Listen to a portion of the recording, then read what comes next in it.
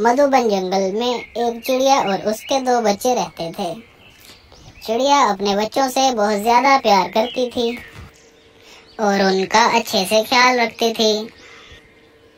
चिड़िया को अक्सर दाने दुनके की तलाश में बाहर जाना पड़ता था और उसके बच्चे घर पे अकेले रह जाते थे। चिड़िया जानती थी कि जंगल में बहुत सारे बदमाश पक्षी भी रहते हैं। जो उसके बच्चों को बहुत ज़्यादा तंग करते हैं। चिड़िया इसी चिंता में लगी रहती थी। चिड़िया को पता था कि बड़े पंछियों की उसके बच्चों पर नज़र है और उसका घर से बाहर जाना खतरे से खाली नहीं होता। घर का अनाज तो खत्म हो गया है। मुझे बाहर जाके कुछ अनाज इकट्ठा करना पड़ेगा और बच्चों, मैं बाहर जा रही हूँ। तुम लोगों ने घर का ख्याल रखना है और कोई भी आ जाए, उसे अंदर नहीं आने देना।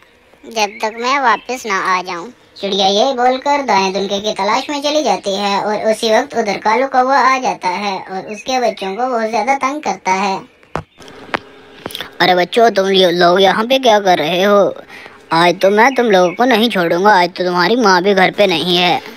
अरे कालू, तुम इधर से चले जाओ। मेरी माँ आ गई तो हम अपनी माँ को तेरे बारे में शिकायत करेंगे।